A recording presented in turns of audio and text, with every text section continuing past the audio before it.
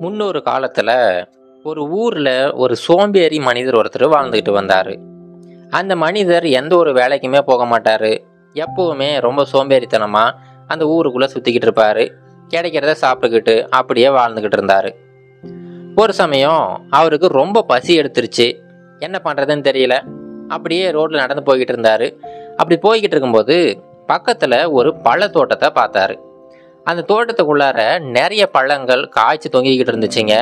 சரி இன்னைக்கு எப்படியாவது இந்த பழங்களை பறித்து நம்ம பசியை போக்கிக்கலாம் அப்படின்னு சொல்லி அந்த தோட்டத்துக்குள்ளே நுழைஞ்சிட்டாரு. அவர் நுழைஞ்சு உள்ளே இருக்கிற அந்த மாம்பழங்கள் ஆப்பிள் பழங்கள் இது எல்லாத்தையுமே எடுத்துக்கிட்டு இருந்தார். அந்த சமயம் அந்த தோட்டத்துக்காரர் பார்த்துட்டாரு. பார்த்துட்டு ஒரு பெரிய தடியை எடுத்துக்கிட்டு திருடன் திருடன் கத்திக்கிட்டு இந்த மனிதரை துரத்த ஆரம்பிச்சிட்டாரு. இப்போ இந்த மனிதருக்கு என்ன பண்ணுறதுனே தெரியலை. வேக வேகமாக அந்த தோட்டத்துலேருந்து வெளியில் வந்துட்டாரு. வெளியில் வந்தவர் பக்கத்தில் இருந்த ஒரு காட்டுப்பகுதிக்கு வேகமாக ஓட ஆரம்பிச்சிட்டாரு. அவர் காட்டுக்குள்ளே போனதுக்கப்புறமா இந்த தோட்டத்துக்காரர் அவரை மன்னிச்சு விட்டுட்டாரு. சரி எங்கேயோ போயிட்டு போகிறாரு அப்படின்னு சொல்லிட்டு. இப்போ இந்த மனிதர் வேக வேகமாக காட்டுக்குள்ளார ரொம்ப உள்ளே வந்துட்டார். அதுக்கப்புறம் வெளியில் வர்றதுக்கு சரியாக வழியே தெரியலை. அப்படியே காட்டுக்குள்ளே சுற்றிக்கிட்டு இருக்கிறாரு. அந்த சமயம் அந்த காட்டில் ஒரு நரி ஒன்று பார்க்குறாரு அந்த நரிக்கு பார்த்தீங்கன்னா இரண்டு கால்கள் இல்லை. ரெண்டு கால்கள் மட்டும்தான் இருக்குது அந்த கால்களை வச்சுக்கிட்டு அது உடம்பை இழுத்துக்கிட்டு அப்படியே நடந்துக்கிட்டு இருக்கு. அதை பார்த்த உடனே இந்த மனிதருக்கு ரொம்ப பாவமாக போயிடுச்சு. எப்படி இந்த நரி வந்து உயிர் வாழுதுன்னு தெரியலையே. ஏன்னா ரெண்டு கால்கள் இல்லைன்னா அந்த நரியினால் வேட்டையாட கூட முடியாது. அது மட்டும் இல்லாமல் இதோட பெரிய மிருகங்கள் அந்த சிங்கம் புலி இதெல்லாமே அந்த காட்டில் இருக்குது அந்த மிருகங்கள் இந்த நரியை பார்த்துச்சுன்னா கண்டிப்பாக அடித்து சாப்பிட்டுங்களே ஆனால் அந்த நரியை பார்த்தா அந்த அளவுக்கு பசியில் வாடுற மாதிரி தெரியலை. அந்த நரி நல்லபடியாக தான் வாழ்ந்துக்கிட்டு இருக்கு. இவருக்கு ஒன்றும் புரியலை. எப்படி இந்த நரி உயிர் வாழுதுன்னு தெரியலையே அப்படின்னு சொல்லிட்டு யோசிச்சுக்கிட்டே அந்த வழியாக நடந்து போயிட்டு இருக்காரு. அப்படி போய்கிட்டு இருக்கும்போது திடீர்னு ஒரு கர்ஜனை. என்னன்னு பார்த்தா தூரத்தில் ஒரு சிங்கம் ஒன்று வந்துக்கிட்டு இருக்கு. அதை பார்த்த உடனே இந்த மனிதர் வேக வேகமாக ஓடி போய் பக்கத்தில் இருக்கிற மரத்தை மேலே ஏறிக்கிட்டாரு. அந்த சிங்கம் கொஞ்சம் கொஞ்சமாக பக்கம் வந்துக்கிட்டு இருக்கு. ஆனால் ரொம்ப ஆச்சரியம் என்னென்னா அந்த சிங்கத்தோட வாயில் ஒரு பெரிய கரித்துண்டு ஒன்று வச்சுருக்கு. அந்த கரித்துண்டை எடுத்துக்கிட்டு வந்து இந்த நரிக்கிட்ட போட்டுட்டு அந்த சிங்கம் எதுவுமே செய்யாமல் ரொம்ப அமைதியாக அந்த இடத்த விட்டு போயிடுச்சு. இப்போ அந்த நரி அந்த கரித்துண்டை சாப்பிட ஆரம்பிச்சிடுச்சு. இப்போ தான் அந்த மனிதருக்கு புரியுது இந்த நரி வந்து எப்படி இவ்வளோ நாள் உயிரோடு இருக்குது அப்படின்னு சொல்லிட்டு இப்போ அவருக்கு ஒரு யோசனை வருது. இந்த நரிக்கு கடவுள் வந்து கருணை காட்டுறாரு. நரிக்கு வந்து ரெண்டு கால்களே இல்லை. அதுவும் இது வந்து காட்டுப்பகுதி. இப்படி இருக்கிற இந்த ஒரு சூழ்நிலையில் கடவுள் வந்து இந்த நரிக்கு கருணை காட்டி ஒரு சிங்கத்து மூலமாக சாப்பாடு கொடுக்க வச்சிருக்கிறாரு. இப்போ நரிக்கே இந்த மாதிரி கருணை காட்டுறாரு அப்படின்னா நான் வந்து ஒரு மனுஷன். எனக்கு கடவுள் கண்டிப்பாக கருணை காட்டுவார். எனக்கும் இந்த மாதிரி யாராவது சாப்பாடு கொடுப்பாங்க அப்படின்னு சொல்லிட்டு ஒரு எண்ணத்தில் அந்த காட்டை விட்டு வெளியில் வராரு. வெளியில் வந்தவர் பக்கத்தில் இருக்க ஒரு ஆலமரத்துக்கிட்ட போகிறாரு அங்கே போயிட்டு அந்த ஆலமரத்தடியில் கம்முன்னு படுத்துட்டாரு. அவர் வெயிட் பண்ணிக்கிட்டு இருக்கிறாரு. அந்த நரிக்கு எப்படி சிங்கம் வந்து சாப்பாடு கொடுத்துச்சோ அது மாதிரி யாராவது எனக்கும் சாப்பாடு கொடுப்பாங்க அப்படிங்கிற நம்பிக்கையில் அந்த ஆலமரத்து அடியிலேயே ரொம்ப நேரமாக படுத்துக்கிட்டு இருக்கிறாரு. அப்படியே நேரம் கடந்து போய்கிட்டு இருக்கு. ஒரு சில மணி நேரங்கள் ஆகுது. அவருக்கு லேசாக பசிக்க ஆரம்பிக்குது. தண்ணீர் தாகம் கூட எடுக்குது. ஆனாலுமே கடவுள் வந்து என்னை காப்பாற்றுவார் கடவுள் வந்து யார் மூலமாவது எனக்கு சாப்பாடு கொடுப்பாரு அப்படிங்கிற நம்பிக்கையில் அங்கேயே படுத்துக்கிட்டு இருக்கிறாரு. அப்படியே ஒரு சில நாட்கள் ஆயிடுச்சு.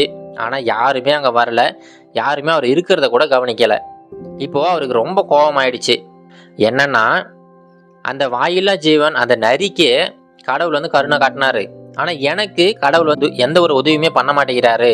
கடவுளுங்கிறவர் ஒருத்தர் கிடையவே கிடையாது அப்படின்னு சொல்லிட்டு கடவுளை கண்டபடி திட்ட ஆரம்பிச்சிட்டாரு. அப்படியே திட்டிக்கிட்டே அவர் வேறு வேலைகளை பார்க்க ஆரம்பிச்சிட்டாரு.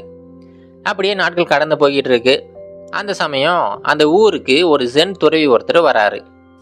இந்த சோம்பேறி மனிதருமே அந்த துறவியை மீட் பண்ணுறதுக்காக போகிறாரு அவரை மீட் பண்ணி ஐயா உங்ககிட்ட ஒரு சந்தேகம் ஒன்று கேட்கணும் அப்படின்னு சொல்லிட்டு சொல்கிறாரு சொல்லுப்பா என்ன சந்தேகம்? அப்படின்னு சொல்லிட்டு அந்த துறவி கேட்குறாரு அதுக்கு இந்த மனிதர் சொல்கிறாரு ஐயா நான் ஒரு சில நாட்களுக்கு முன்னாடி காட்டுக்குள்ளார ஒரு விஷயத்தை பார்த்தேன்.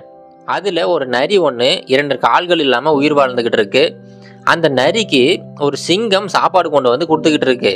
அதை பார்த்துட்டு கடவுள் அவர் படித்த எல்லா விஷயத்தையுமே நல்லபடியாக பார்த்துக்கிட்டு இருக்காரு அப்படிங்கிற நம்பிக்கையில் எனக்கும் சாப்பாடு கொடுப்பாரு அப்படின்னு சொல்லிட்டு நான் ஒரு மரத்தடியில் படுத்துக்கிட்டு இருந்தேன். ஆனால் யாருமே எனக்கு சாப்பாடு கொடுக்கவே இல்லை. இப்போ நீங்கள் சொல்லுங்கள் ஏன் கடவுள் வந்து இப்படி இருக்கிறாரு? எனக்கு மட்டும் ஏன் நடக்குது? அப்படின்னு சொல்லிட்டு மறுபடியும் அந்த துறவிக்கிட்ட கடவுளை பற்றி கண்டபடி பேச ஆரம்பிச்சிட்டாரு. இப்போ அந்த துறவி என்ன சொல்கிறாருன்னா இங்கே பாருப்பா நீ பார்த்ததெல்லாம் சரிதான். உனக்கு கடவுள் நம்பிக்கை இருக்கிறதும் சரிதான். இப்போ என்ன பிரச்சனை அப்படின்னா நீ அந்த இடத்துல நீ பார்த்த விஷயத்த ரொம்ப தவறாக புரிஞ்சுக்கிட்ட. இது உனக்கு மட்டும் கிடையாது பல மனிதர்களும் அப்படி தான் தவறாக புரிஞ்சுக்கிறாங்க. நீ அந்த இடத்துல பார்த்தது அவ்வளோ பெரிய ஒரு சிங்கமே அந்த நரிக்கு வந்து சாப்பாடு கொடுத்துக்கிட்டு இருக்கு. நீ அந்த இடத்துல அந்த நரி மாதிரி இருக்கணும் அப்படின்னு சொல்லிட்டு ஆசைப்பட்டுக்கிட்டு இருக்க. ஆனால் கடவுள் உன்னை அதுக்கு படைக்கலை. நீ அந்த சிங்கம் மாதிரி இருக்கணும் அப்படின்னு சொல்லிட்டு கடவுள் ஆசைப்படுறாரு. நீ வந்து நல்லா உழைச்சி நாலு பேருக்கு நீ சாப்பாடு கொடுக்கணும் அப்படிங்கிற அந்த நிலைமையில் உன்னை வச்சு பார்த்துக்கிட்டு இருக்கிறாரு. ஆனால் நீ வந்து அதை தவறாக புரிஞ்சுக்கிட்டு அந்த நரி மாதிரி உனக்கு சாப்பாடு கொடுப்பாங்க அப்படின்னு சொல்லிட்டு அந்த எண்ணத்திலே நீ இருக்கிற. அதனால தான் உனக்கு எல்லாமே தப்பாக நடக்கிற மாதிரி இருக்குது அதனால் இதுக்கப்புறம் ஒன்று பண்ணு. உன்னுடைய வாழ்க்கையில் இதுக்கப்புறம் உழைச்சி முன்னேறப்பாரு. நீ உழைச்சி நாலு பேருக்கு உதவிகள் செய்யி கண்டிப்பாக கடவுளோட ஆசீர்வாதம் உனக்கு எப்போவுமே இருக்கும் அப்படின்னு சொல்லிட்டு அந்த மனிதரோட அந்த தவறான நம்பிக்கையை ஒரு நல்ல நம்பிக்கையாக மாற்றி அன்னையிலிருந்து அந்த மனிதரை ஒரு நல்ல மனிதராக மாற்றிட்டார் அப்பையிலிருந்து பார்த்தீங்கன்னா அந்த சோம்பேறி மனிதர் சோம்பேறியாக இல்லவே இல்லைங்க.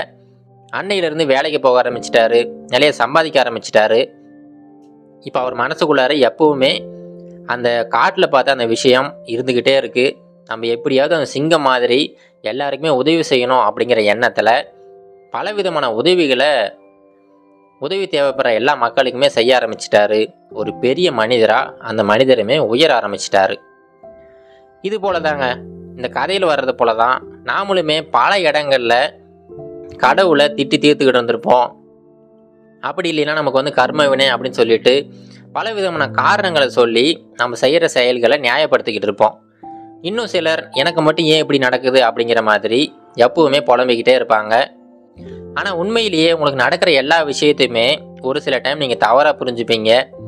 நீங்கள் எப்போ அதை சரியாக புரிஞ்சுக்கிட்டு இந்த பிரபஞ்சம் என்ன சொல்ல வருது அப்படிங்கிறத சரியாக கணிச்சிட்டிங்கன்னா கண்டிப்பாக நீங்களுமே அந்த சிங்கம் மாதிரி எல்லாருக்குமே உதவி செய்யக்கூடிய அந்த இடத்துல இருக்கலாம். எல்லாருமே இந்த எண்ணத்தோட ஓட ஆரம்பித்தோம்னா கண்டிப்பாக இந்த சமுதாயத்தில் இருக்கிற எல்லா மனிதர்களுமே உயர்த்தலாம். யாரெல்லாம் உதவி தேவைப்படுறாங்களோ எல்லாருக்குமே உதவி செஞ்சு ஒரு நல்ல சமுதாயத்தை உருவாக்கலாம். இது கரேஜ் டு ஆக்ட் மோட்டிவேஷன் கதைகள்.